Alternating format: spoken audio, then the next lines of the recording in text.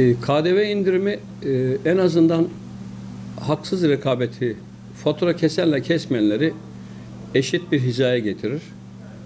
E, iyi oldu. E, biz kooperatif olarak yıllardır birebir fatura keserken bazı alıcılar tarafından e fatura kesmişseniz olmuyor mu diyenleri duyuyorduk, yaşıyorduk. Ama şimdi yüzde bire inince artık fatura kesmemenin bir esprisi kalmadı. Herkes faturayı keser artık şimdi yüzde bir olunca. Böyle olunca her şey kayıt altına girmiş ve hepimiz aynı safta namaz kılır hale gelmiş oluruz. KDV'nin yüzde biri inmiş olmasıyla birlikte şimdi herkes faturasını kesecek. Hepsi de kayıt altına girecek. Ve böylelikle bizler artık e, rekabet etmede KDV yükü gibi bir sırtımızdaki o e, asker hani bir sırt çantası vardır 20 25 kilo sırt çantasıyla koşuyorduk biz. Ama fatura kesmeyenler e, normal koşuyordu. Biz sırtımızın yüküyle koşuyorduk, yarışıyorduk piyasada. Şimdi bu yük sırtımızdan kalktı. Biz hepimiz eşit şartlarda piyasada ürünlerimizi pazarlayacağız.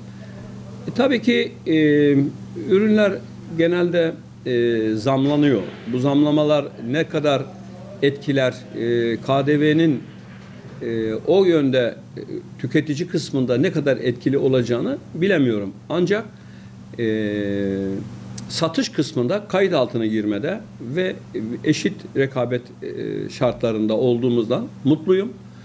E, inşallah e, her şey böyle istikrarlı bir şekilde gider. İyi olur diye düşünüyorum. Peki süt üreticisinin durumu nedir şu anda? Süt üreticisi, e, üretici toprağı olan üretici işte üretimde zorlukları var onların da. E, nedir onlar? Gübreden tut.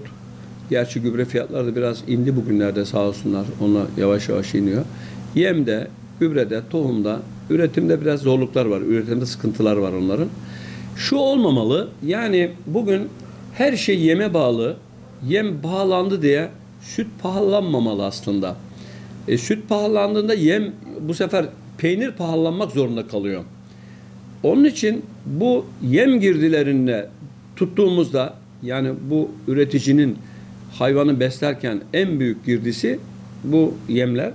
Bu yem fiyatları düşebiliyorsa ya da yerinde sabit kalabiliyorsa en büyük başarı olacak. Yoksa yem gitti arkasından süt gitsin. E süt gitti arkasından peynir gitsin. E peynir gidecek. E peki bu şehirde oturan askeri ücretle geçinen ya da e, emekli olan insanların e, bunu e, koşturmaya e, takati yetmeyebilir onu. O olmayabilir. Onun için e, süt fiyatları normal aslında ama yem fiyatlarının biraz yükselmesi e, bunlar rahatsız oluyor. İnsanlar e, üretim olmalı. Üretmezsek biz üretmek zorundayız. Üretmeden, yorulmadan, çalışmadan hani Atatürk'ün bir e, atamızın bir sözü var. Üretmeden, çalışmadan, yorulmadan e, rahat yaşamın yollarını alışkanlık haline getirmiş milletler önce haysiyetini, sonra şerefini, sonra istikbalini kaybetme mahkumdur demiş.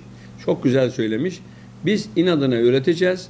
Üretmezsek namerde muhtaç kalırız. Elden gelen öğün olmaz. Olsa bile vaktinde gelmez.